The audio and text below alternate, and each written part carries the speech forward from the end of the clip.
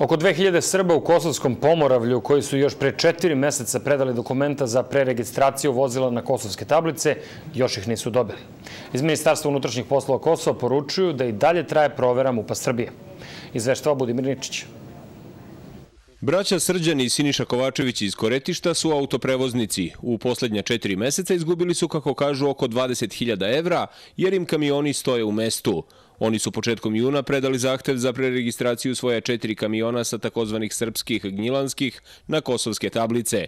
Kažu, čekali su skoro zadnji dan jer su verovali vlastima u Beogradu da će moći da svoje vozila koriste i sa gnjilanskim tablicama.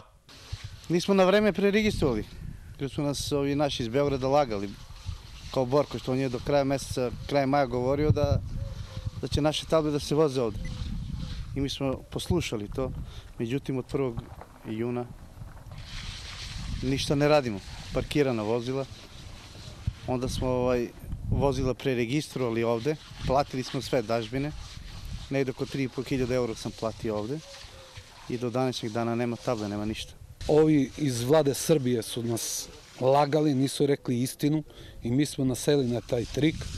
Ali kad smo videli zadnji, mislim zadnji onaj preregistraciju kad su i sva 2024 vozila na teritoriju opštine Gnjilane, Kamica i Vitina preregistrovali i mi smo preregistrovali vozila da ne bi čuvali kokoške kao što je rekao ministar Ređepi u kamionu ili vozila.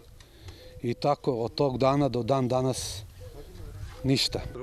S druge strane, zamjenik ministra policije Saša Rašić će kaže da je od 1. juna promenjena procedura kad je u pitanju preregistracije sa srpskih na kosovske tablice i da se sada u saradnji sa Ministarstvom unutrašnjih poslova Srbije vrši provera vozila. On za glas Amerike kaže da postoji 2050 ovakvih zahteva za preregistraciju. Sama ta verifikacija tih vozila i dokumenta je razlog zašto, zašto se kasni sa izdavanjem kosovskih registarskih tablica i dozvola i broj zahteva i sigurno da ovaj, onog trenutka kad dobijemo povratnu informaciju iz Beograda, mi ćemo učiniti sve da što pre izdamo i tablice i, voz, i saobraćene dozvole za vozila.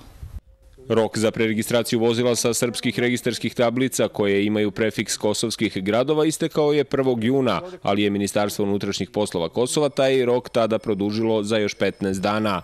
U MUP-u Kosova kažu da su odluku o zabrani korišćenja takozvanih srpskih tablica doneli na osnovu rezultata dijaloga Beograda i Prištine o slobodi kretanja. Za glas Amerike iz Prištine, Budimir Ničić.